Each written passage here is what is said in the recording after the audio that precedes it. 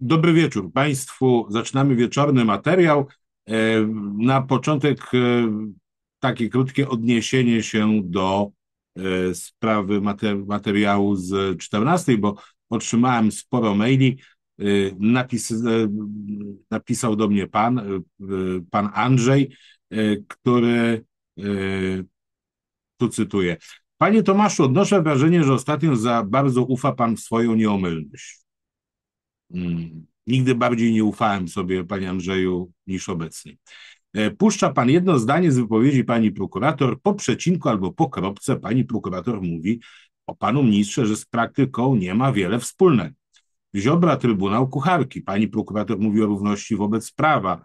Nie mówi nic o zgadzaniu się z tym przepisem kucharskim. E, panie Tomaszu, lubię Pana słuchać, zgadzam się lub jestem, ale proszę jeszcze raz posłuchać wywiadu. E, panie Andrzej, no odpisałem Pan na maila, ale również i ustosunkuję się publicznie do Pańskiego maila, bo skoro Pan do mnie napisał, to pozwoli Pan prawem cytatu, też się od niego odniosę.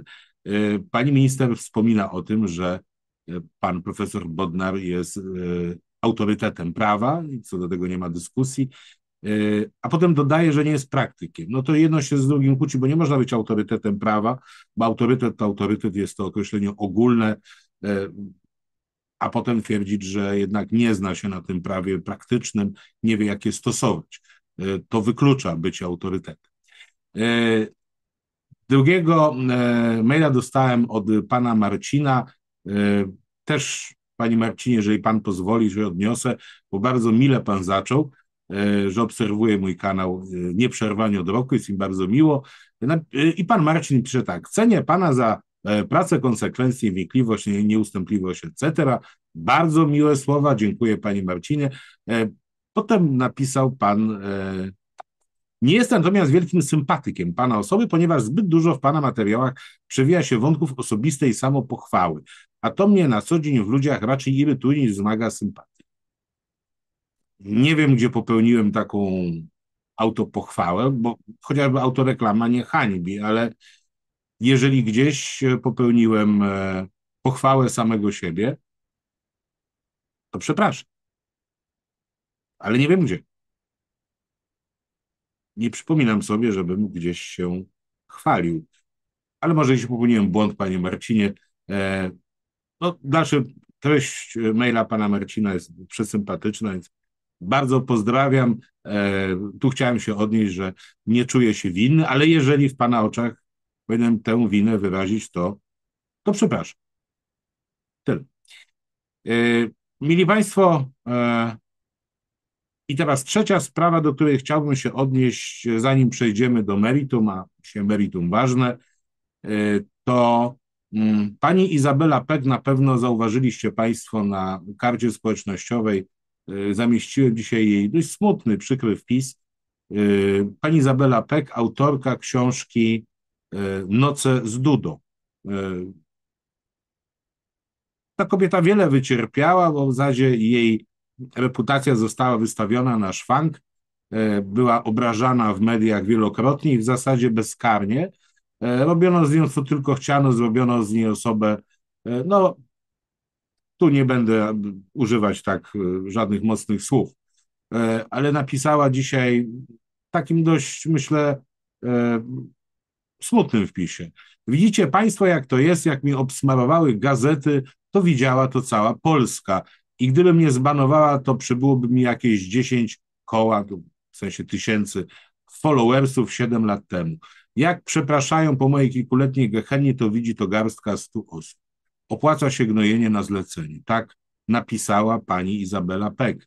E, a później e, publikuje zdjęcie przeprosin, jakie spółka Bauer, e, wydawca tygodnika Dobry Tydzień, wydawnictwo Bauer, spółka z ograniczoną odpowiedzialnością, spółka Jana w Warszawie, przeprasza panią Izabelę Peck za publikację wizerunku pani Izabeli Peck i jej zdjęć oraz nieprawdziwych sugestii co do jej osoby w artykule zamieszczonym w wydaniu tygodnika z dnia 4 czerwca 2018 roku oraz wyraża ubolewanie z powodu dokonanego tą publikacją naruszenia dóbr osobistych pani Izabeli Peck, w szczególności jej prawa do prywatności, czcigodności oraz prawa do wizerunku. E, I Państwo, 2018 rok. E, dopiero teraz przepraszają. Nikt już tego nie przeczyta, nikt o tym nie wie. Tego pomyślałem sobie, że gwoli sprawiedliwości, wykorzystując zasięgi naszego kanału i Państwa liczną obecność, niech to będzie więcej niż te 100 osób, e, że e, spółka Bauer na kolanach przeprasza panią Izabelę Peck, a myślę, że też powinna wypłacić jej sowite odszkodowanie i zadośćuczynienie za te krzywdy, które popełniono. Nie tylko oni zresztą, bo wielu, e, wiele portali kolportowało informacje na temat pani Izabeli Peck, które były niezgodne z prawdą. Dziewczynę no można powiedzieć zaszczutu. Podła sprawa, e, tak to ujmę.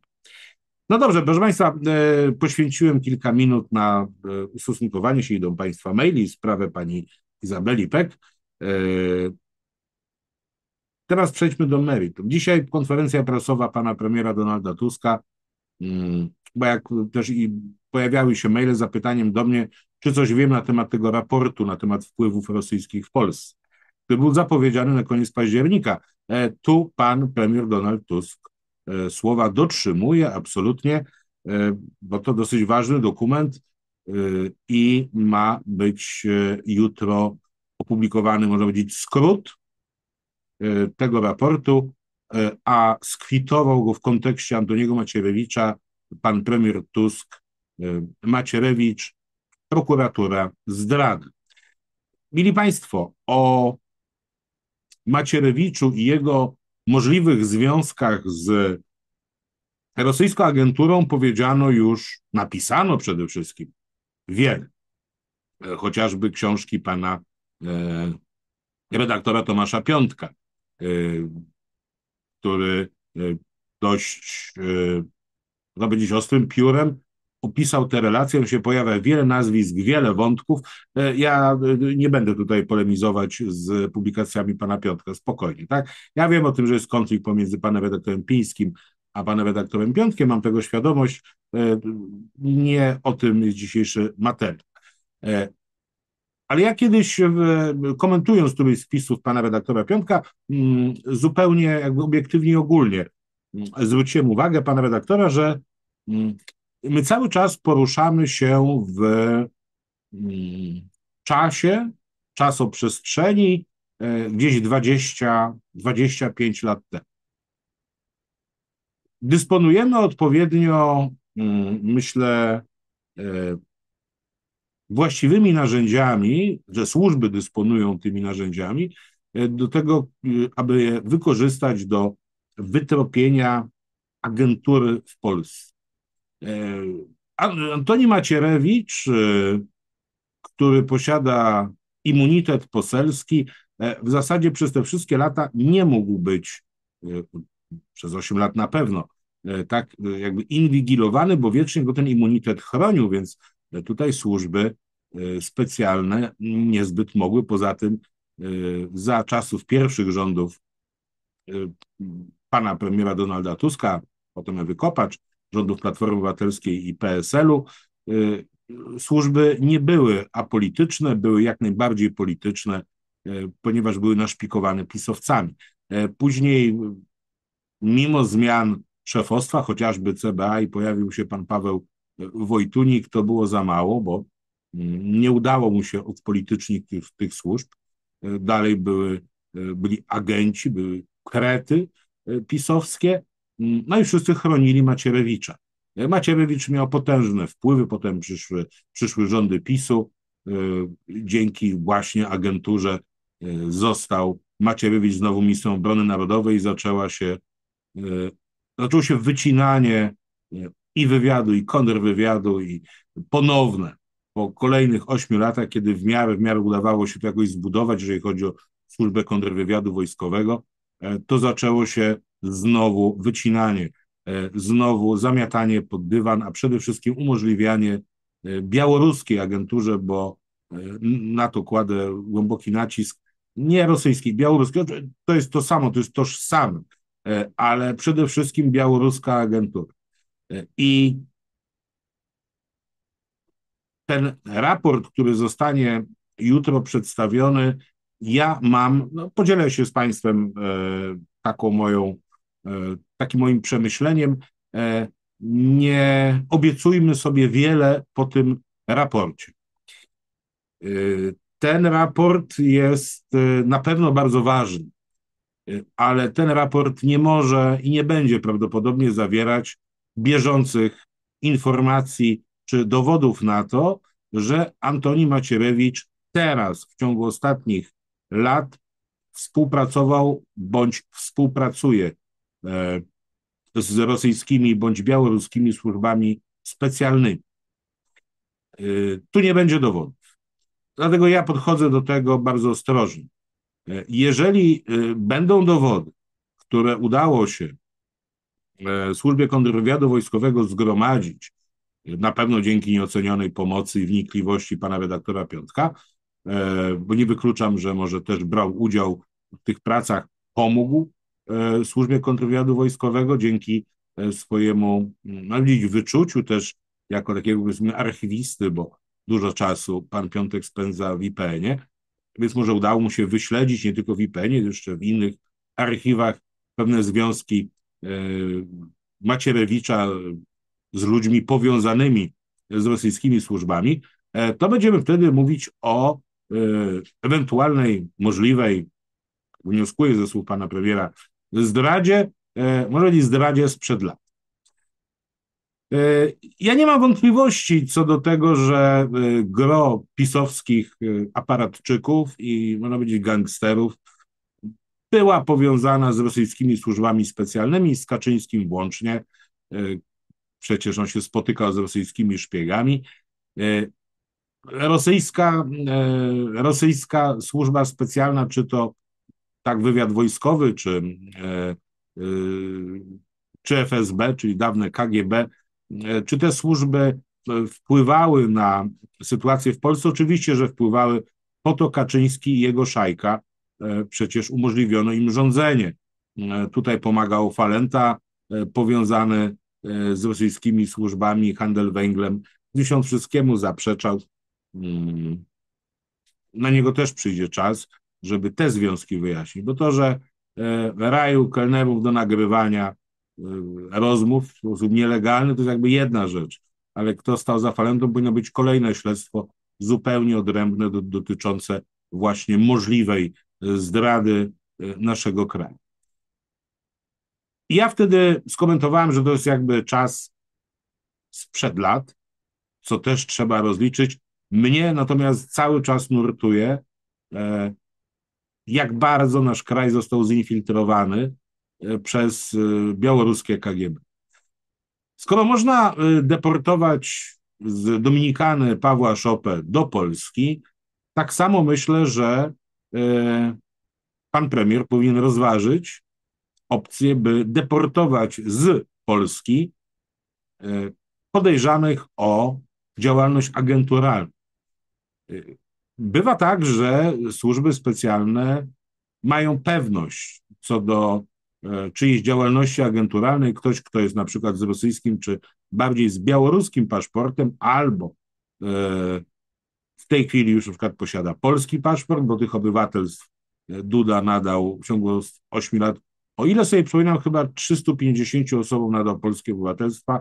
Niekoniecznie są to osoby, które legitymują się polskimi korzeniami. Więc tu jakby jest jeden punkt. E, kolejny są e, Białorusini, którzy rezydują w Polsce, prowadzą tu interesy. E, przyglądając się ich działalności, ja bym wytypował chociażby kilkadziesiąt, no tak lekko licząc, kilkadziesiąt osób, które należałoby deportować z Polski w ciągu 24 godzin. No w czym rzecz? Mm, złapanie i zamknięcie szpiega, jak Państwo widzicie, może się zakończyć tak, że e, przez układy sojusznicze e, przychodzi prośba, aby kogoś wypuścić i wymienić na kogoś innego, niekoniecznie na przykład na Andrzeja Poczobuta. No ale taki był układ. Może i na Andrzeja Poczobuta przyjdzie też czas, że będziemy go mogli sprowadzić do Polski. No, zatrzymanie takiej agentury wymaga dosyć twardych dowodów ale jak e, Państwo wiecie albo nie wiecie, e, nie chodzi o to, żeby zatrzymać szpieg. Chodzi o to, żeby ten szpieg pracował dla nas. To jest sztuka. To nie chodzi o łapanie szpiegów. Chodzi o to, żeby oni pracowali dla nas, żeby była podwójna agentura, że można było siać dezinformację.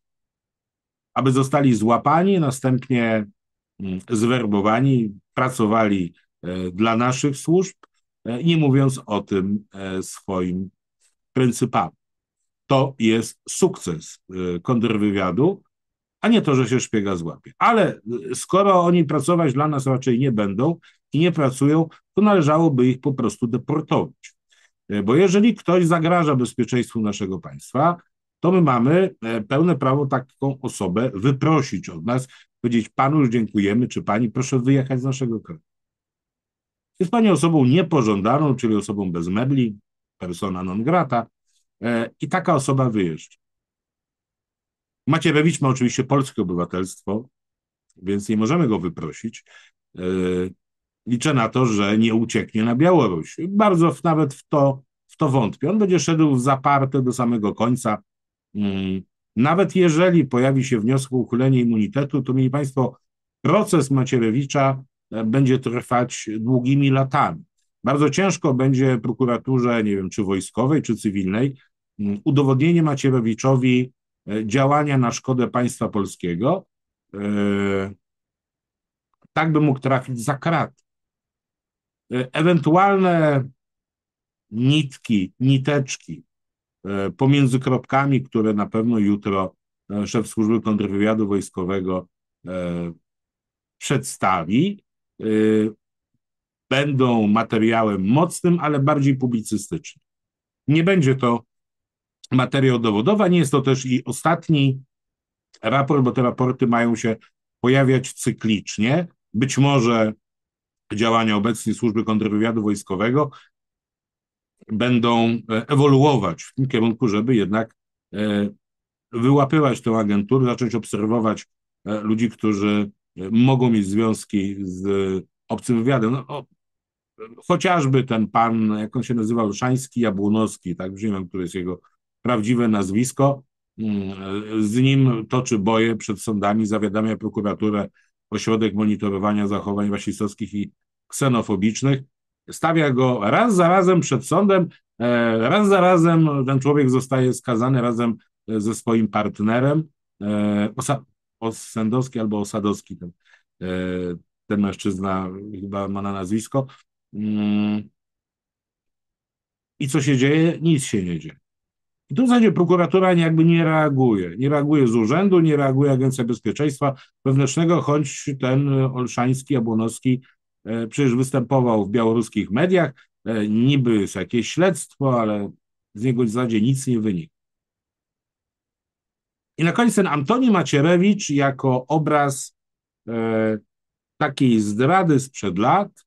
E, wszyscy pamiętamy to, co się działo po katastrofie pod Smoleńskim, kiedy on stamtąd wyjeżdża pociągiem e, ze Smoleńska, ale jeszcze zdążył zjeść spokojnie obiad. E, później wymyśla kłamstwo smoleńskie. E, później ta podkomisja. Wszystko to raczej kwalifikuje się do mm, publicznego poświadczania nieprawdy, defraudacji środków publicznych, ale nie będzie tu, taka jest moja ocena dzisiaj, zobaczymy jutro, zobaczymy, czy się pomyliłem, ale nie będzie tu elementu wprost zdrady państwa polskiego w kontekście szpiegostwa i niezbitych dowodów E, które e, służba kontrwywiadu wojskowego mogłaby jutro przedstawić. E, zobaczymy jutro. Ja jestem ciekaw bardzo tego raportu, ale postanowiłem ten materiał nagrać dzisiaj, by z Państwem podzielić się swoimi przemyśleniami i jutro skonfrontujemy, czy i jak bardzo się pomyliłem. Przyznam się, że chciałbym się pomylić. E, że jutro e, szef służby kontrwywiadu wojskowego przedstawi raport, z którego będzie wynikało, że mamy do czynienia e, z rosyjskim agentem służb specjalnych, zostanie ujawniony jego na przykład kryptonim, czyli jego alias, zostaną przedstawieni z imienia i z nazwiska ludzie, którzy go prowadzili w Polsce, zostaną przedstawione dowody na jego bieżącą działalność agenturalną, i to będzie koniec Macierewicza, a potem nowy prezydent, mam nadzieję, że odbierze mu order Orła Białego. e, sprawy, spraw obyczajowych e, i jakichś, nie wiem, e, perwersji pana Macierewicza ja nie komentuję, bo, bo nawet nie wypada na naszym kanale. Nie ma sensu. Nie ma sensu. Co kto lubi. Nie będę w to wnikać.